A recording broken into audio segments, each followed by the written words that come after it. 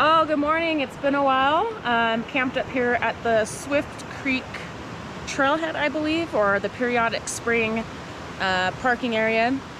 And today my friend Lizzie and I are gonna go up to Corral Creek Lake. Um, we're hoping to hit 20 miles, but if not, that's okay. We're just out to mainly see the lake and have a fun day in the mountains um, and get some mileage in. Um, this particular route has a uh, 50k that also runs along at the El Vaquero Loco, uh, which actually just happened last weekend. So I'm glad we came up this weekend to to not have to, uh, you know, be in all of the racers' way. Um, so it is a popular spot, but um, we are the only people camped here, and it's about 6:30 in the morning, and uh, we're gonna get started now. We're at the alternate trail um, because there was a landslide. At the official trailhead. So this is what we're looking at here. And we're gonna take this trail. Um, so I am not thinking straight this morning. Okay, so we have an awesome view of the landslide that happened this spring. Check this out. I mean, look at that. That is huge. Wow. Yeah, so that's why we're on this alternate trail. So we're up high and above it. That is just insane. I can't imagine the weight of snow that had to cause that huge of a slide. Pretty cool.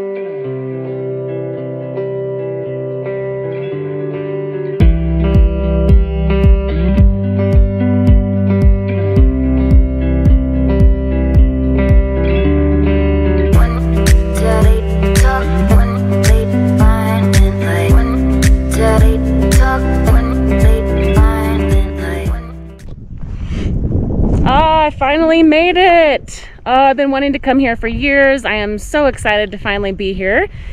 Trail stats to get here were 8.1 miles, uh, just over 4,000 feet elevation gain, and just under four and a half hours.